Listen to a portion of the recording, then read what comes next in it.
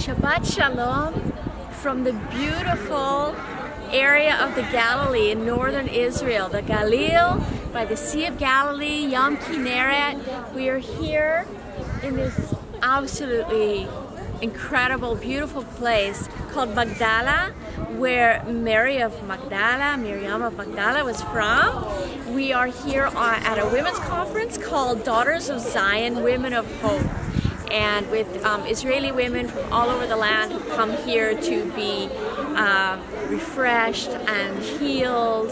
And um, we listened to a teaching today from a woman from Poland. It was wonderful. Last night, one of the really pioneers of the Messianic movement in Israel that um, started a lot of youth movements here in the land and has done so much for the country. It's just so amazing to be like sitting in the same room with um, pioneer musicians, the woman that wrote the song Kadosh that we sing all over um, the world right now, and just sitting there. Um, so it's just great to be here in this place where Yeshua spent most of his time of ministry here in the Galilee, in the Galil, where he um, walked on this this lake, Yam Kinneret, the Sea of Galilee, walked there and rescued um, Peter, you know, called Peter to come out of the boat. And and and as, as long as he was looking at Yeshua, he walked on the water, and then he looked down at the water and the waves. He started to drown, and Yeshua held out his hand to him.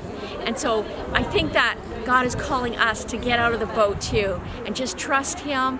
Take a step out of the boat, walk on the water with Him, trust Him, hold our hand out to him, keep looking at him, and he'll he'll lift us up when we start to look down.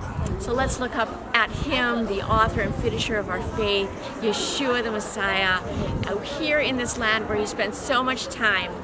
And um, so that's it. Just want to say Shabbat Shalom from Eretz Israel, from the land of Israel in the in the uh, Galil, in the land of the Galilee.